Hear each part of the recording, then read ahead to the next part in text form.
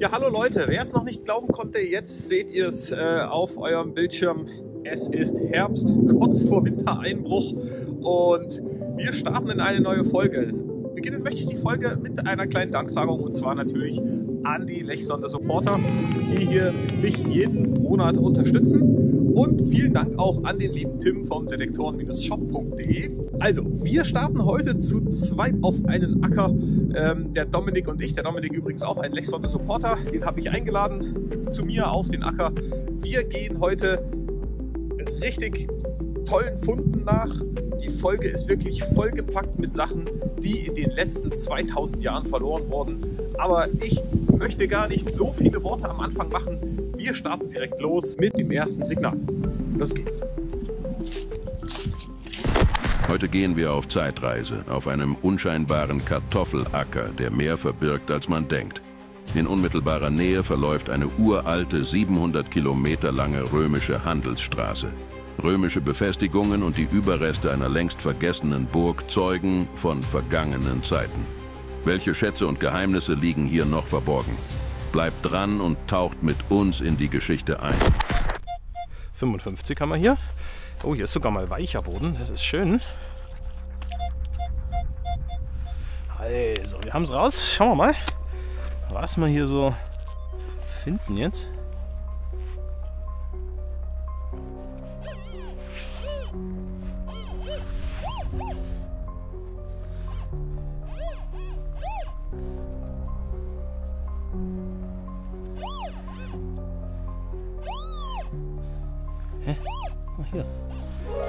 Wir hier?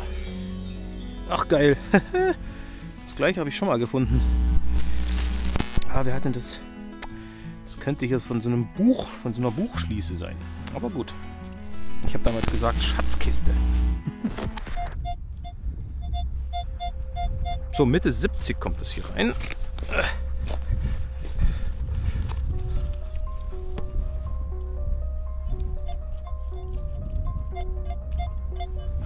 Okay, jetzt hat es sich ein bisschen verschlechtert, aber das macht nichts.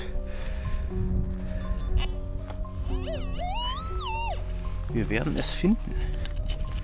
Dann ist es vielleicht was Tolles.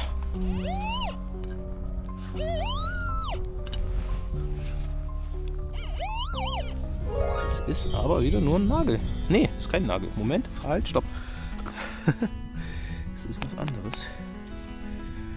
Noch, das ist sogar mal vergoldet gewesen. Da schau her. Aber was das ist, keine Ahnung. Nee, keine Ahnung. Hm, muss ich mal einblenden. Hat der Dominik gefunden mit seinem Quest-Detektor. Ja, guckst du?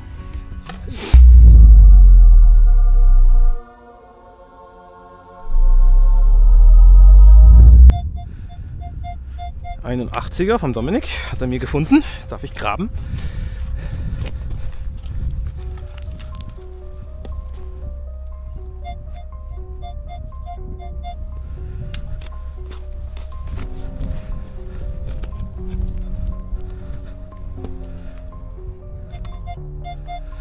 Jetzt haben wir es bewegt. Ich bin gespannt.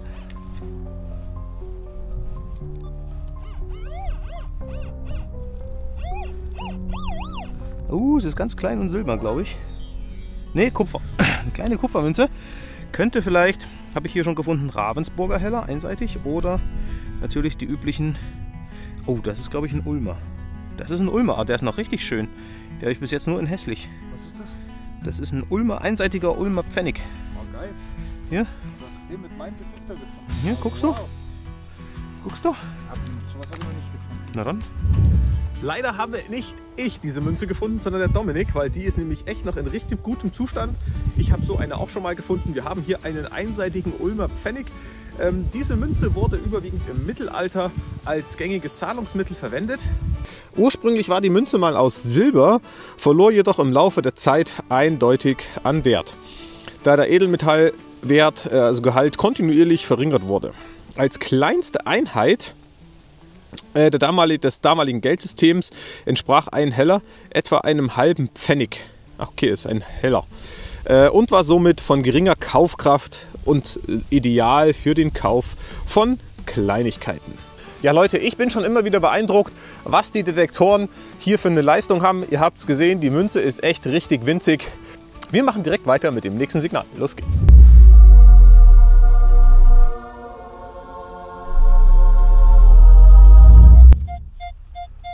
51 haben wir hier.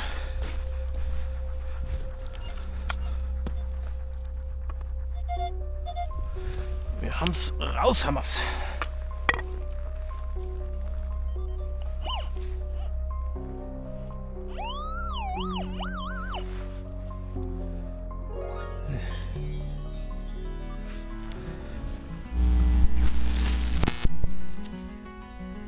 Uh, uh, sehen meine entzündeten Augen.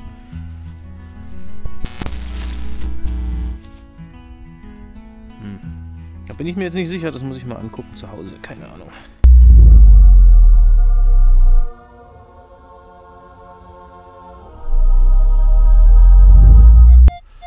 ...82 vom Dominik. Hat er mir geschenkt, das Signal, sagt er.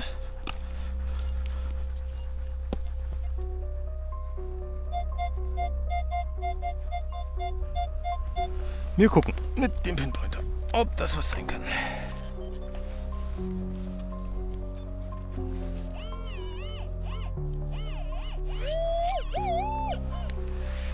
Natürlich völlig falsch gegraben.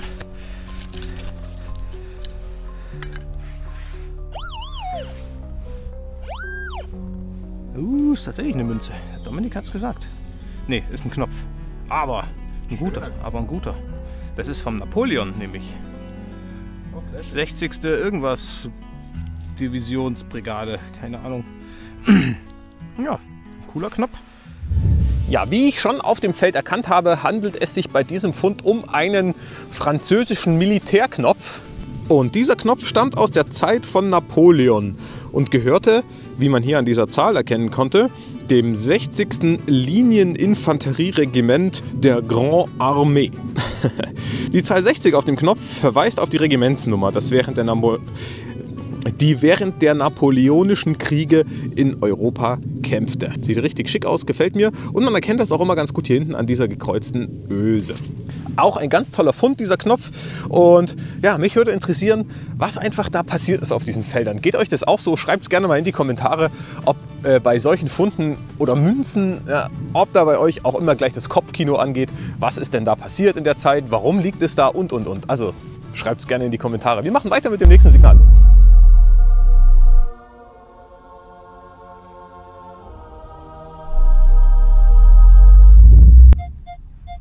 Nun Anfang 60er hat der Dominik mir hier vorbereitet. Äh, komm schon.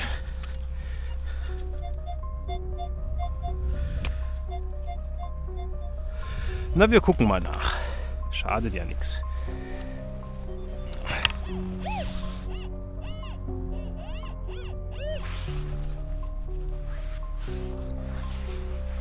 Ach, hier. Hm, das ist irgendwas Verziertes. Nee, und da ist sogar noch. Art, ich weiß, was es ist. Ich habe es auch schon gefunden. Das ist ein Anhänger. Und zwar, äh, den habe ich sogar mal von religiösen Medaillen, habe ich den Das ist- äh, mal. Äh, Da ist sogar noch Gold dran.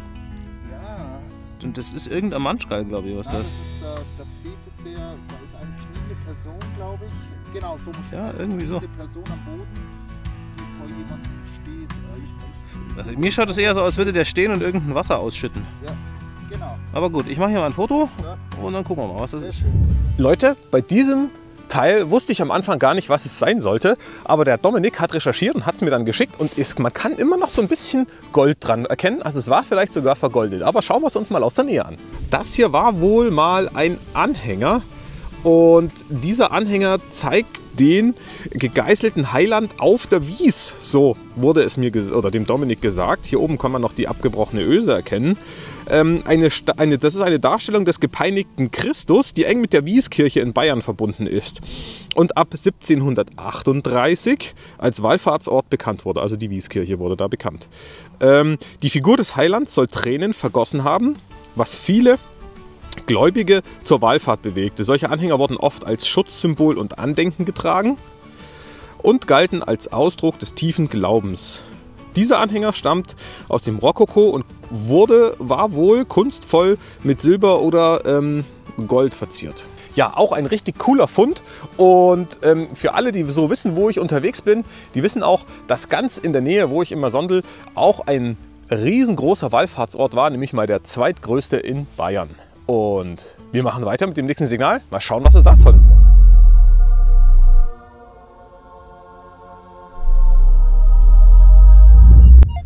85er Signal. 85, 86, um genau zu sein. Das ist ein bisschen höher gegangen. Ich sehe schon was, oder? Ein Heiligenanhänger. Oh, ein ganz schöner. Ein ganz schöner Heiligenanhänger. Ah ja, schaut mal hin. Hier sieht man, hier ist die Originalöse abgebrochen und da hat jemand nochmal ein Loch durchgemacht, um es dann trotzdem noch weiter zu tragen. Und dann hat er es trotzdem verloren. Jo, coole Sache, Heiligenanhänger. Richtig toll.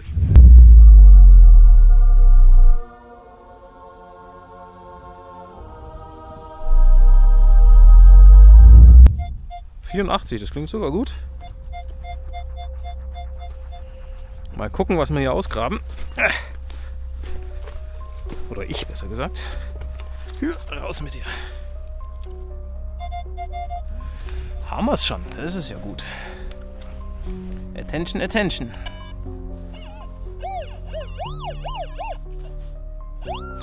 Uh, ja, man weiß es noch nicht. Es glänzt mich mal silbern an. Es ist aber eher Alu. Es ist ein Anhänger, glaube ich. Ja, es ist wieder ein Heiligenanhänger. Heute ist Tag der Heiligenanhänger. Coole Sache. Das ist ein. Ist das ein Christophorus-Segen? Ja, Oder? Ich habe keine Ahnung. Ja, ja, die sind nicht schlecht, die Teile. Upsi. So, 86 haben wir hier nochmal. Mal gucken, was wir hier haben. Ah.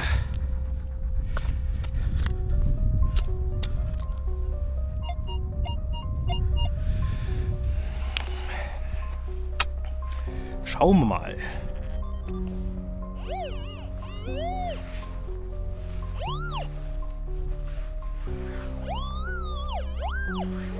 Haben wir irgendwas. Da ist schon wieder was mit Silber dran. Gibt's doch gar nicht. Das ist irgendein... Oh, das ist auf jeden Fall richtig schick. Das ist ein Pferdchen. Könnte auch älter sein, so von der Machart her hier hinten, in dem Verschluss.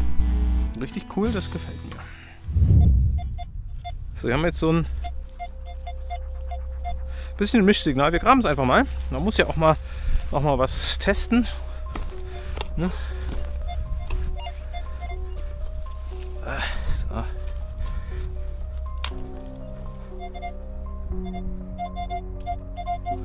Wir haben es auf jeden Fall schon ja, ja, bewegt. Und es liegt hier drüben irgendwo.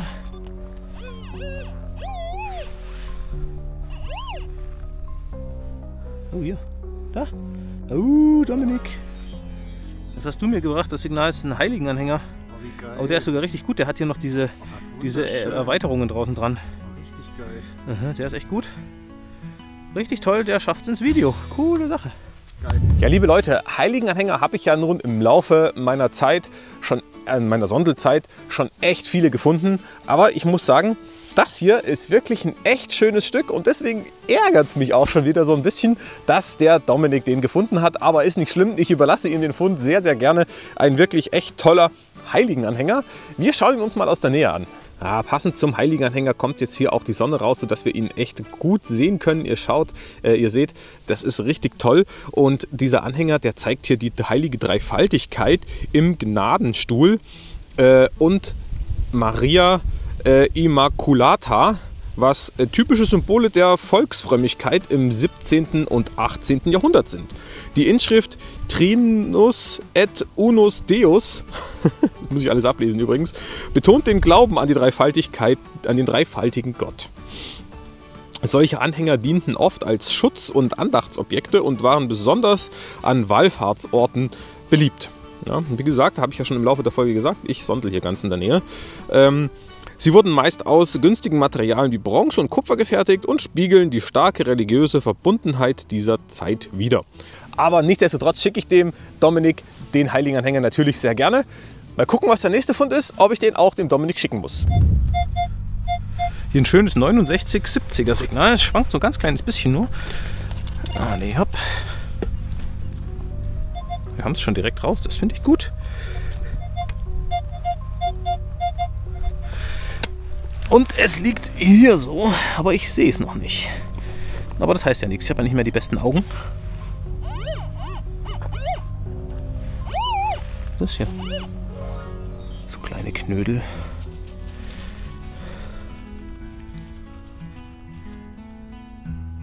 Oh, was ist denn das? Ist das ein Pin? So ein Anstecker. Ach cool, das könnte wirklich ein Anstecker sein. Ich wollte schon gerade meckern, dass es wieder nichts ist. Aber ich glaube, das ist ein Anstecker von irgendwas. Oh, ist das, ist das ein Totenkopf? Hm, vielleicht waren hier Piraten. Vielleicht waren hier Piraten. Leute, bei diesem Anstecker bin ich mir jetzt nicht ganz sicher, ob wir hier was Historisches haben oder was Neuzeitliches. Deswegen schauen wir es uns direkt mal aus der Nähe an und ich erzähle euch dann auch was drüber. Wir haben hier einen kleinen Totenkopf-Anstecker. Das könnte ein äh, Memento Mori-Symbol aus dem 17. oder 18. Jahrhundert sein. Zeitlich würde das auf, gut auf den Acker passen. Ähm, was einfach die Vergänglichkeit des Lebens er erinnern soll. So, wir gucken uns den mal auf der Rückseite an. Da haben wir hier diesen, diesen Anstecker eben. Solche Symbole waren ebenfalls im Barock und Rokoko verbreitet und sollten die Menschen an ihre Sterblichkeit und ein tugendhaftes Leben erinnern. Ja, ich komme noch ein bisschen näher ran hier. Ähm, Memento Mori Motive fanden sich oft als Schmuckstücke bei Adligen und wohlhabenden Bürgern, ah, ups, hier oben sind wir, ähm, aber auch im militärischen Kontext, Kontext als Zeichen der Stärke. Eine genaue Datierung, ja, konnte ich jetzt hier nicht vornehmen. Ähm, und ich habe auch leider im Internet jetzt nichts weiter gefunden. Ähm, einen, der genauso aussah und der irgendwie datiert war. Aber das macht gar nichts, auch wenn ich den nicht genau datieren konnte, finde ich es einen tollen Fund, der auch spannend ist. Ob der nächste Fund auch spannend ist, seht ihr jetzt. Auch ein hohes, hier haben wir einen 86er, wieder vom Dominik. Aua, mein Fuß. Äh, Dominik hat schon wieder das nächste. 86, das ist echt hoch. Wir gucken mal. Ja.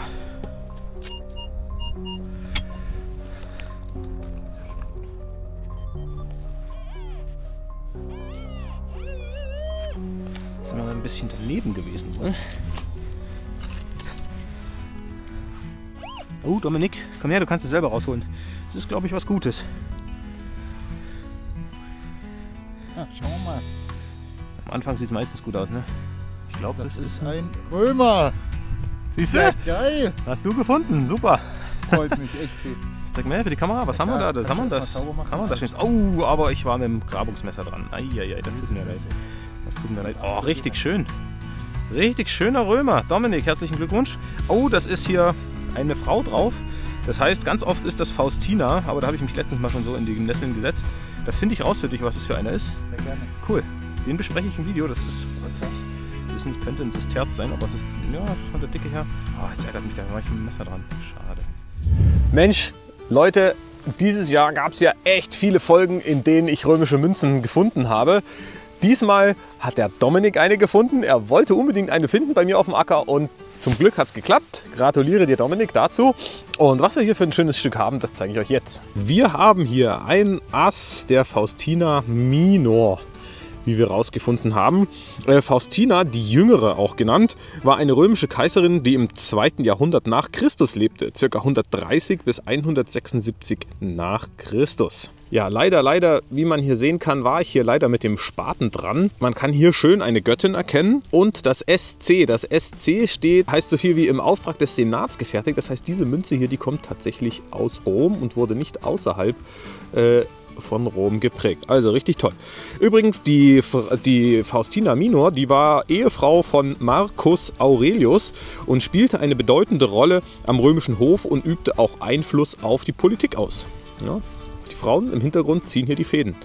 Sie war eine Förderin der Künste und der Wissenschaft und auch nach dem Tod als Göttin verehrt. Faustina war vor allem für ihre Rolle als Kaiserin, Mutter und als Symbol der römischen Frauen bekannt. Ja, also eine tolle Münze und ihr seht, die ist auch noch richtig gut erhalten, wie ich finde. Und ich habe mir hier mal noch so ein paar Sachen aufgeschrieben, was man so für ein so eine Münze damals im Rom kaufen konnte. Und zwar Lebensmittel. Für ein Ass konnte man eine kleine Portion Brot, etwas Obst und ein paar Eier kaufen. Ähm, Alltagsgegenstände, äh, ein einfacher Tontopf oder ein kleiner Holzgegenstand waren für diesen Betrag durchaus erhältlich. Dienstleistungen, was hat man dafür bekommen? Für einen Tag Arbeit eines ungelernten Arbeiters konnte man einige Asse zahlen. Okay, nicht nur eins, sondern da musste man dann schon ein bisschen mehr hinlegen. Also ein ganz toller historischer Fund, top in Schuss. Ihr seht, dieser Acker ist einfach der Knaller. Leider ist jetzt wirklich Ende mit dem, der ist jetzt eingesät und ja. ja, liebe Leute, ihr habt gesehen, dieser Acker war wirklich oder ist wahrscheinlich immer noch vollgepackt mit vielen Funden. Für mich sind das alles so kleine Zeitkapseln, die Geschichte äh, aufbewahrt haben, die wir jetzt da aus der Erde rausziehen und finden. Wenn du auch schon mal einen spannenden Fund gemacht hast, dann würde ich mich freuen, wenn du ihn mit mir unten in der Videobeschreibung teilst. Du kannst auch gerne deinen Instagram-Account verlinken, habe ich überhaupt keine Schmerzen, dann schaue ich mir das gerne mal an.